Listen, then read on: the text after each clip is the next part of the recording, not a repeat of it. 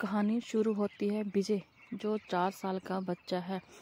उसे चोट लगने से विजय आँगन में खेलते हुए गिर जाता है। उसे मुँह में चोट लग जाती है। उसके रोने की आवाज़ सुनते ही पापा सब कुछ छोड़ छाड़ कर गोदी में उठाकर एक किलोमीटर की दूरी पर क्लिनिक तक भागकर ही पहुँच जाते हैं। दुकान, कैश काउंटर सब नौकर के भरोसे छोड़ आए। सीधा डॉक्टर के कैबिन में दाखिल होते हुए डॉक्टर को बोले, देखिए देखिए डॉक्टर, मेरे बेटे को क्या हो गया? डॉक्टर साहब ने देखते हुए कहा, अरे भाई साहब, घबराने की कोई बात नहीं है। मामूली चोट है, मरहम पट्टी कर दी है, ठीक हो जाएगी।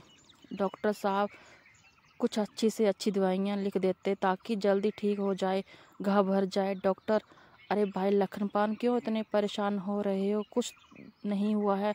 तीन चार दिन में ठीक हो जाएगा। पर डॉक्टर साहब इसको रात को नींद तो आ जाएगी ना?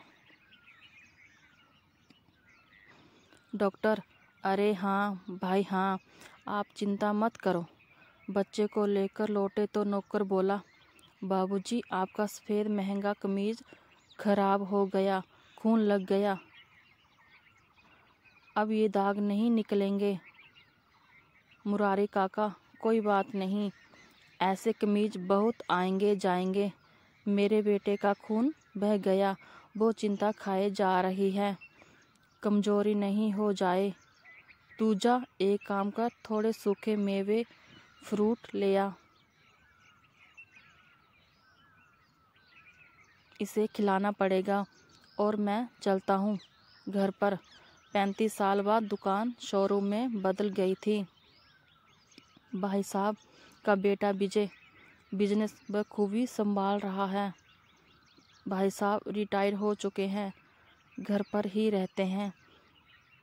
तभी घर से बेटे की बीवी का फ़ोन आता है। अजी, सुनते हो? ये आपके पापा बिस्तर से गिर गए हैं, सर पर से खून आ रहा है, विजय कहता है। अरे यार, ये पापा भी ना इनको बोला है। ज़मीन पर सो जाया करो, पर मानते ही नहीं हैं।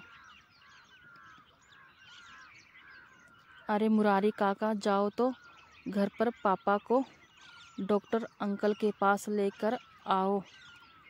मैं मिलता हूँ वहीं पर।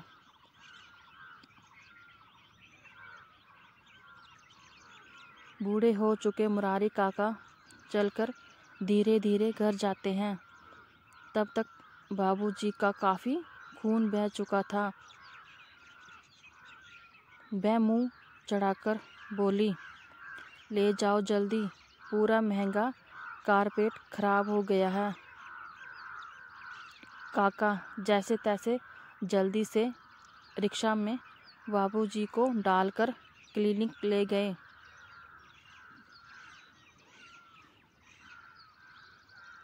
बेटा अब तक नहीं पहुँचा था। काका ने फ़ोन किया तो बोला, अरे यार, वो कार की चाबी नहीं मिल रही थी। अभी मिली है।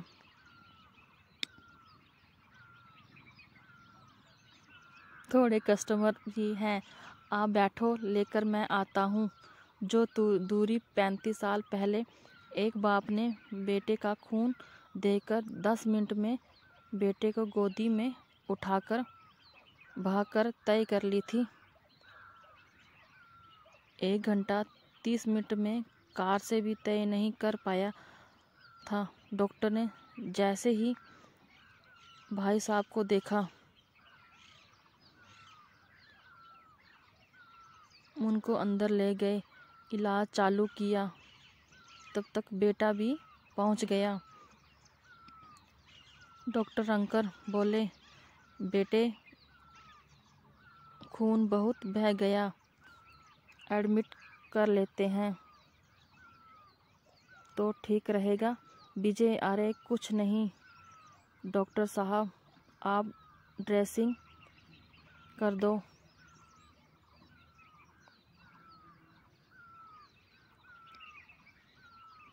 ठीक हो जाएगा तीन चार दिन में। डॉक्टर अंकर बोले, ठीक है, कुछ दवाइयाँ लिख देता हूँ।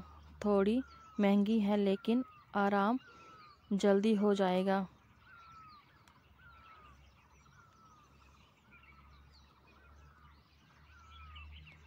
विजय, अरे डॉक्टर अंकल, चलेगा, चार पाँच दिन ज़्यादा लग जाएँगे और क्या? अब इतनी महँगी दवाइयाँ की क्या ज़रूरत है?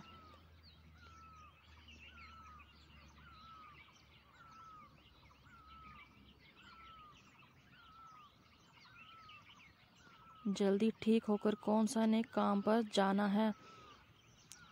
चलो, मुझे निकलना पड़ेगा। शोरूम पर कोई नहीं है।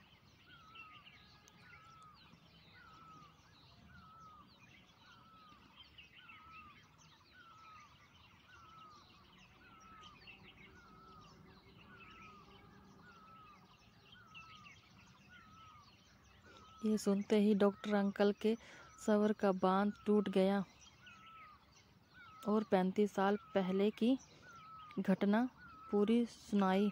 बेटे की आँखों से आँसू बहने लगे। उसे बहुत पछतावा हुआ। तभी बहू का फ़ोन आया।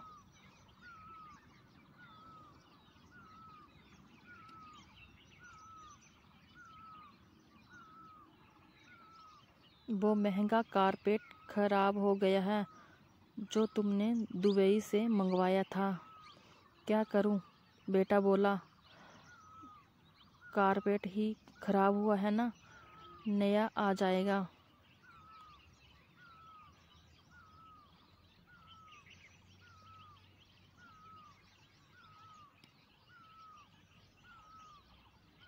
तुम बिस्तर पर नया चादर और गद्दा डालो। मैं पापा को लेकर आ रहा हूँ।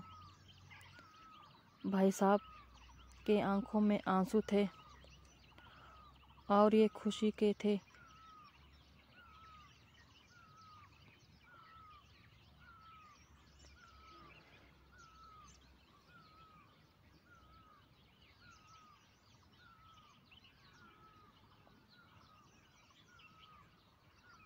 और एक खुशी के थे, चोट का दर्द गायब था। बेटे के अपनेपन ने सब भुला दिया। बस, अब तो मौत भी आ जाए तो मंजूर है। दोस्तों, ये आज की सच्चाई है। आज हमारे अंदर का इंसान मर चुका है।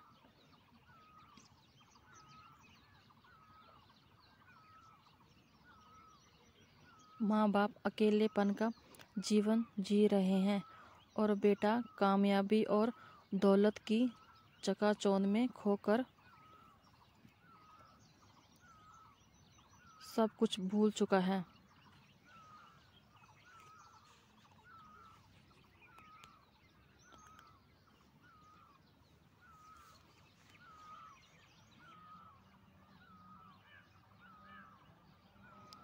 अगर आपको मेरी ये कहानी अच्छी लगे तो कृपया करके चैनल को सब्सक्राइब करें और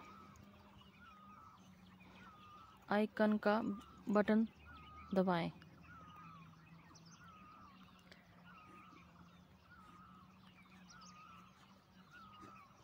कहानी को शेयर करें ਲੈ ਲੈ ਲੈ ਮੈਂ ਫੜ ਤੇ ਚੱਲ ਹੁਣ ਤੂੰ ਤਾਂ ਐਂ ਬੋਲ ਰਹੀ ਤੇ ਮੈਂ ਤੇਰੀ ਬੁੰਡ ਮਾਰ ਲਈ ਹੋਵੇ ਕਿਸੇ ਨੇ